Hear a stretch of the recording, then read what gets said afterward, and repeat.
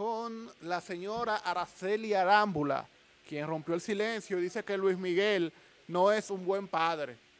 Se desacató la mujer, por fin dijo algo de su relación que históricamente siempre se ha negado en decir algo. Así que vamos a ver las declaraciones de la, de la doña Araceli Arámbula.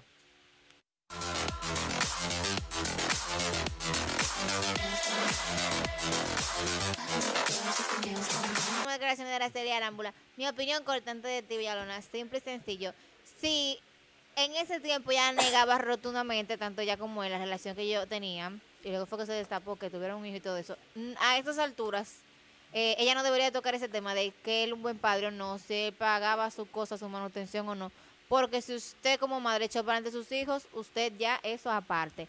Cosas personales de hace muchos años, no hay que traer la colación. Luis Miguel está anorésico.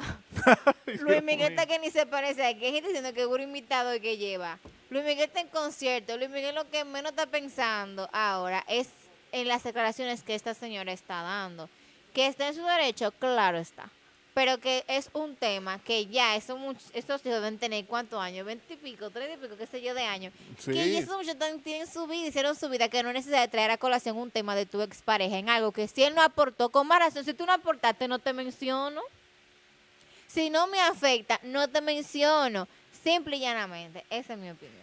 Eh, simple y llanamente, como tú también dices, eh, Araceli debió mantener eh, esa línea que ella siempre había tenido de no revelar, de no decir nada, mantenerse eh, con bajo perfil sobre esa relación que tuvo con, eh, con Luis Miguel y luego todo lo que ha sido esa relación luego de su divorcio. Eh, tienen unos hijos en común que ya están haciendo su vida o que están próximos a hacerla. Entonces, por el bien de ellos y por el bien de, de ambos, lo mejor es que ya eso no lo hablen.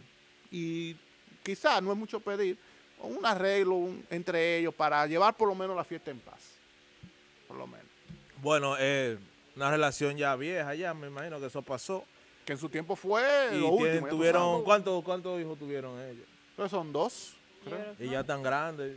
O sea, que no hay necesidad de La misma de ayer, la incondicional. ¿Ese es para La que no espera La, la incondicional, sí.